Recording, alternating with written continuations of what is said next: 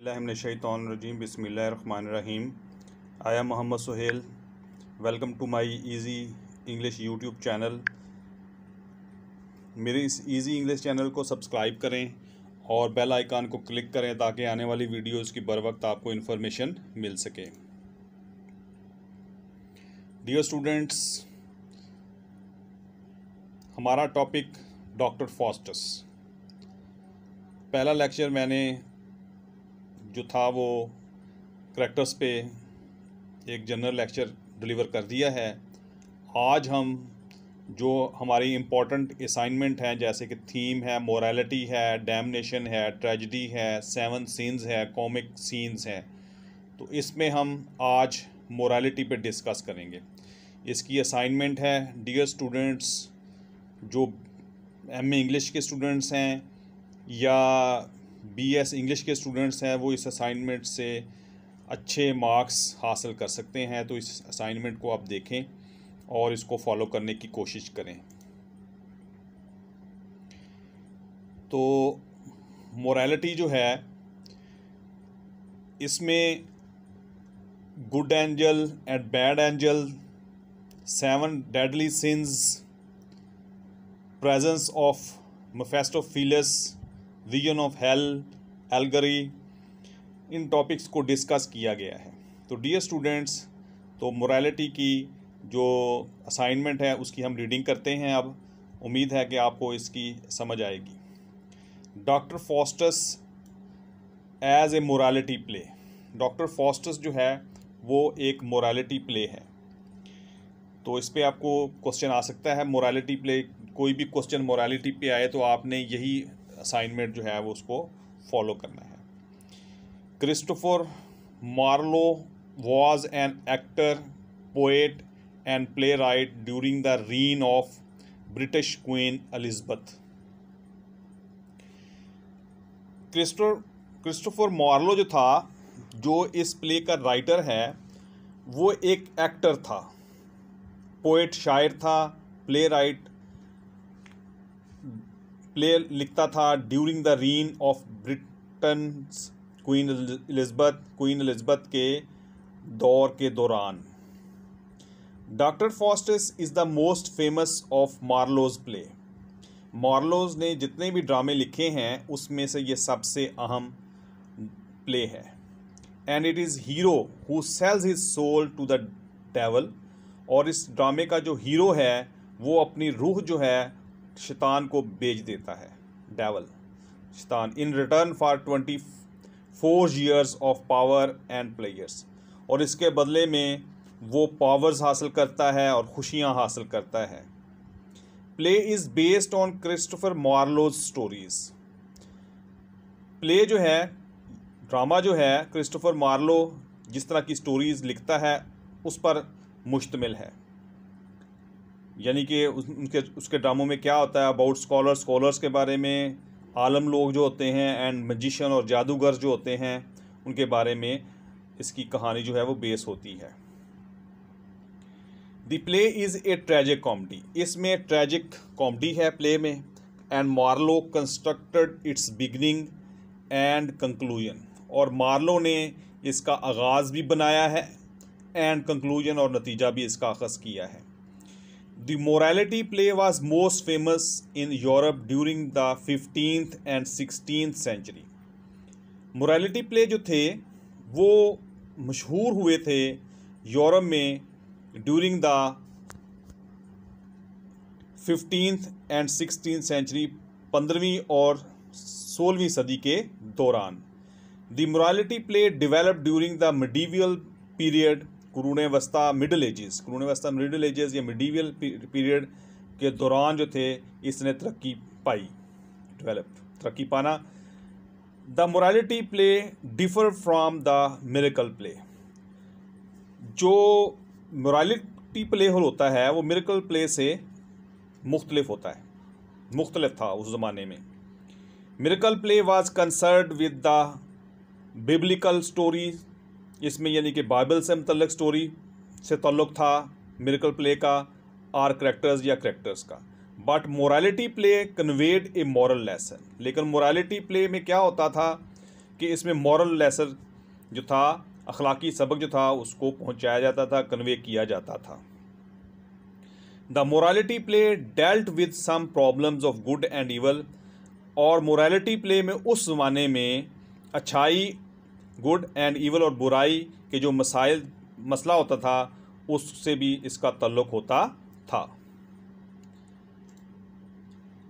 As a morality play एक morality play होने के नाते इट विंडिकेट्स ये साबित करता है ह्यूमिलिटी जिसमें आजी है फेथ ईमान एंड ओबीडियंस ईमान है टू लॉ ऑफ़ गॉड अल्लाह ताला के जो कानून के, जो कवानीन है, उसके बारे में, यानी कि ओबीडियंस भी है फेथ भी है ह्यूमिलिटी भी है.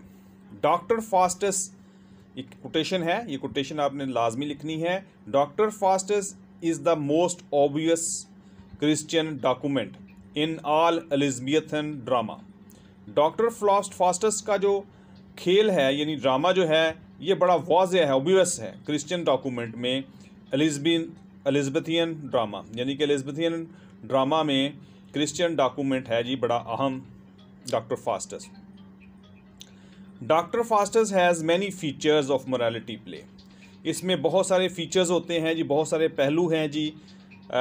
मोरालिटी प्ले के लिहाज से जस्ट लाइक गुड एंजल्स इसमें गुड एंजल्स हैं बैड एंजल्स हैं गुड एंड ईवल अच्छाई और बुराई है ओल्ड मैन का इसमें ज़िक्र है सेवन डेडली सीन्स हैं and appearance of Lucifer Beelzebub and Mephistopheles यानी लूसीफर जो शैतान हैं बील्सबब और मेफेस्टोफिलस का भी इसमें ज़िक्र है। To ensure his glorious soul यानी कि इसकी ग्लोरियस सोल को ग्लोरियस सोल को ये यकीनी बनाते हैं। यानी कि ये चीज़ें जो हैं, इसकी ग्लोरियस सोल को यकीनी बनाते हैं, शानदार रूह को। The conflict between good and evil was a recurring theme in the medieval morality plays morality plays में मडीवियल यानी कि क्रून वस्ता के जो मोरालिटी प्लेज जो थे, उसमें बार बार रिक्योरिंग बार बार अच्छाई और बुराई के दरमियान जो है कॉन्फ्लिक्ट रहता है लड़ाई झगड़ा रहता है। And with the help of Marlowe gives many moral messages to audience और इसके ज़रिए मार्लो जो है ऑडियंस को, सामीन को बहुत ज़्यादा मैसेजेस जो है, वो भी फ्राहम करता है, अखलाकी मैसेजेस फ्राहम करता है। The good angel and the bad angel those characters are derive from the medieval morality अच्छाई के फरिश्ते और बुराई के फरिश्ते जो हैं, ये करदार जो हैं, ये जो क्रून वस्ता के दरमियान जो मोरालिटी प्ले लिखे गए, उससे हासिल किए गए हैं। Doctor Faustus likes allegory figures अलामती करदारों को पसंद करता है। डॉक्टर फास्टिस जो है लाइक्स एलगरी फिगर्स यानी कि अलामती एलगर एल्गोरिकल एल्गोरिकल एल्गोरिकल फिगर्स अलामती फिगर्स को पसंद करता है मोरालिटी प्ले के लिए। The series of dialogue spoken by good angel it is another example of morality play जो सीरीज़ बोली गई है डायलॉग्स की गुड एंजल की तरफ़ से, अच्छाई के फरिश्तों की तरफ़ से it is another example of morality play एक और मोरालिटी प्ले की एग्ज़ाम्पल है. The good and evil angel stand for the path of virtue good और अच्छे और बुराई के फरिश्ते जो हैं, वो वर्चुओ यानी कि नेकी के रास्ते की निशानदेही करते हैं. And the latter sin and damnation और जो ईवल का जो यानी कि एंजल जो है, वो बुराई यानी कि सिन, गुनाह और तबाही की निशानदेही करता है।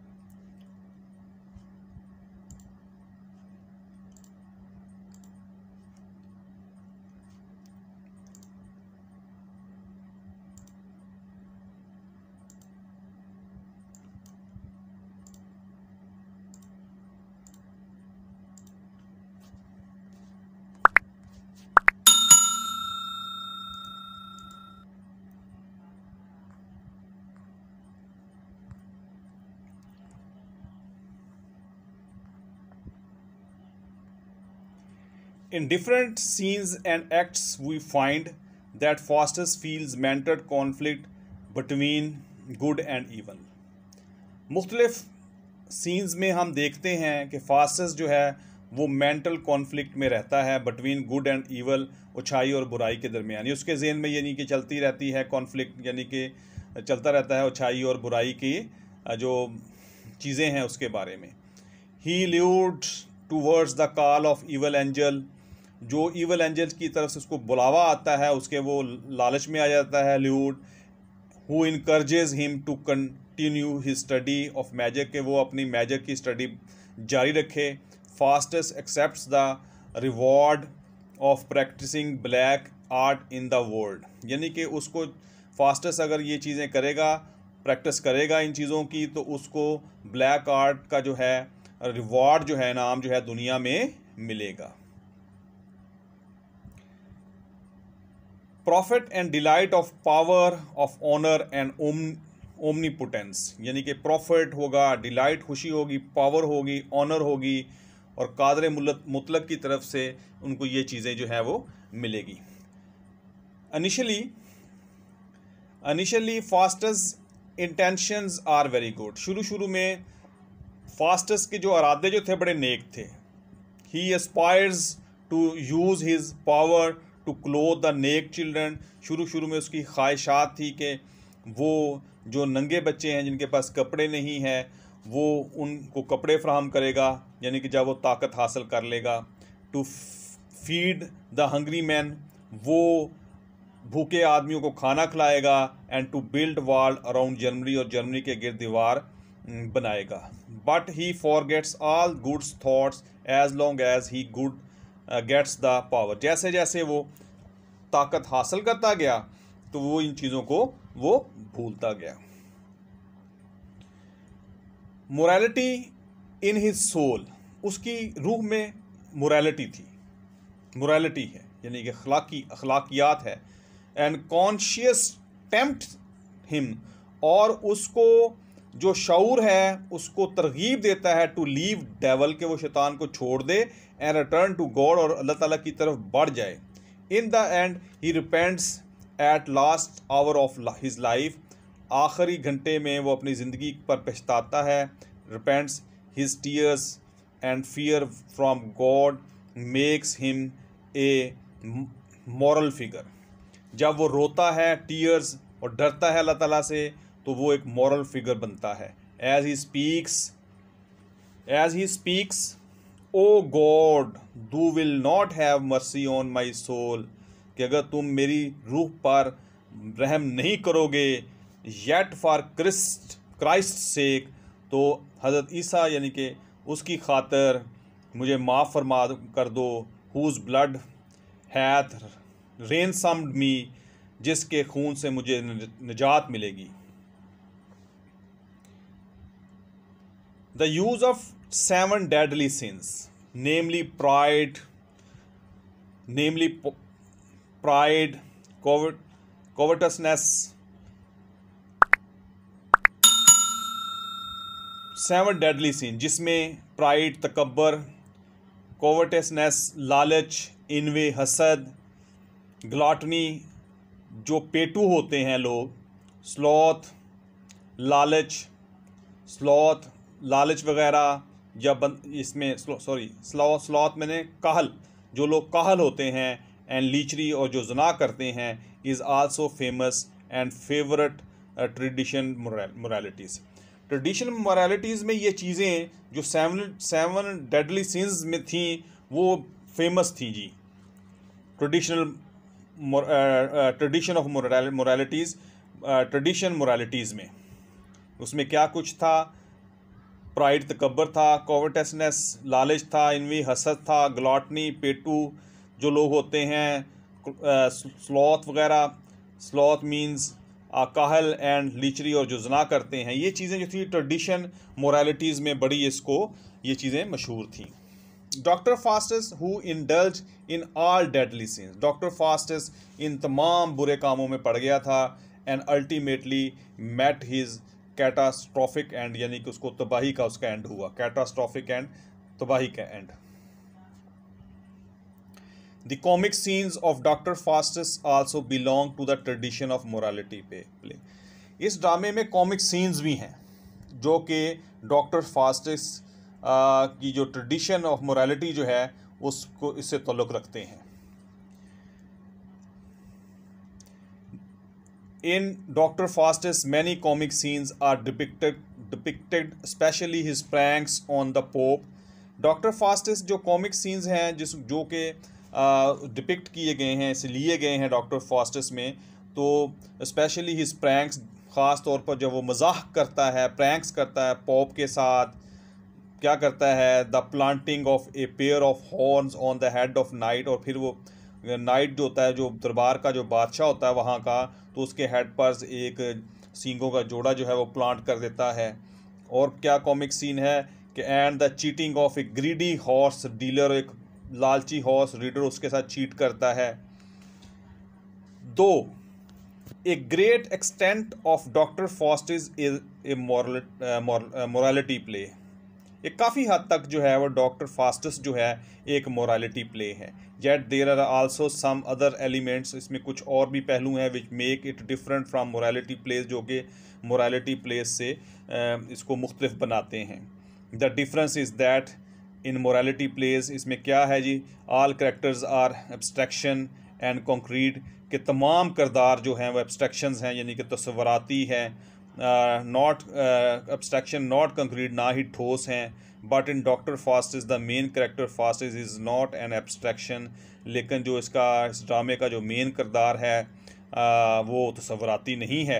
But as a person with desires and high ambition लेकिन वो ऐसा शख्स है जिसकी डिज़ायर्स हैं ख्वाहिशात हैं और हाई एम्बिशंस हैं।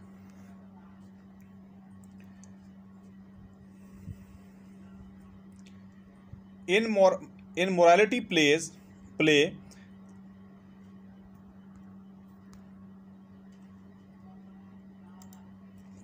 in morality play, the moral is always positive and goodness. Always trump over evil. Morality play में जो क्या होता है the moral is always positive जो जो सबक होता है, अखलाकी सबक जो होता है, वो हमेशा पॉजिटिव होता है. एंड गुडनेस ऑलवेज ट्रम्फ और हमेशा अच्छाई को कामयाबी मिलती है ओवर ईवल बुराई पर. Truth over lie and virtue over vice यानी कि किस पर जी ट्रुथ ओवर लाई, यानी कि सच जो है, वो झूठ पर गालब आता है एंड वर्चू ओवर वॉइस ये वॉइस नहीं है, ये वॉइस इसको स्टूडेंट कर लें आप। We I C E V आई सी ई करना है वॉइस बुराई होता है इसका मीनिंग ये वॉइस नहीं है, ये टाइपिंग मिस्टेक है। तो स्टूडेंट आपने यहाँ वॉइस करना है वी आई सी ई और नेकी जो है, वो बुराई पर गालब आ जाती है। Doctor Faustus can never be treated wholly as a moral play इसको हम मुकम्मल तौर पर एक मॉरल मोरालिटी प्ले नहीं कह सकते, उसके साथ सलूक नहीं कर सकते। It is greatest heroic tragedy before Shakespeare तो शेक्सपियर के नज़दीक ये एक हिरिक ट्रेजडी है। और उस कोटेशन भी देता है वो, क्या कहता है कि man are distinguished by the power of their wanting तो कंक्लूजन में देखते हैं क्या कहता है आखिर में कि thus Doctor Faust is the mysterious plays के ये एक पुरसरार किस्म का प्ले है by Christopher Marlowe and with the help of his this play और इस खेल की मदद से we get many moral lesson हमें बहुत सारे अखलाकी सबक सीखते हैं, थ्रू थ्रू करेक्टर्स करेक्टर्स के ज़रिए गुड एंड ईवल उछाई और बुराई के ज़रिए सेवन डेडली सीन्स के ज़रिए all those things are teaches us morality ये सारी की सारी चीज़ें जो हैं हमें मोरालिटी सिखाती हैं. As morality play there is a terrible warning for humanity तो मोरालिटी प्ले होने के नाते एक बहुत खौफनाक वार्निंग भी है इंसानियत के लिए इन द फाइनल सीन आखिरी सीन में क्या है? Not to practise more than the heavenly power permits यानी कि जितनी हैवनली पावर्स जो आपको इजाज़त देती हैं, उससे कभी भी किसी काम पे, उससे आपने तजावज़ नहीं करना। जितनी आपको पावर्स यानी कि देती हैं आसमानी पावर्स यानी कि इजाज़त देती हैं, उससे ज़्यादा आपने कोई काम नहीं करना। उम्मीद है कि मेरा ये लेक्चर जो था जो कि डॉक्टर फास्टस में मैंने एक असाइनमेंट तैयार तैयार की थी ये पसंद आई होगी तो इसको आप अच्छे तरीके से रीड करें और इसको आप याद करके फिर आप लिख भी लेंगे जैसे पेपर्स में आ जाती है एम इंग्लिश और बी एस इंग्लिश वालों के स्टूडेंट्स के लिए। तो मेरे इस चैनल को सब्सक्राइब कर लें और पहला आइकान को क्लिक कर लें ताकि आने वाली वीडियोस जो हैं जो कि आ रही हैं तो वो उस, उसकी बर वक्त आपको इन्फॉर्मेशन मिल सके। Take care thanks for watching my video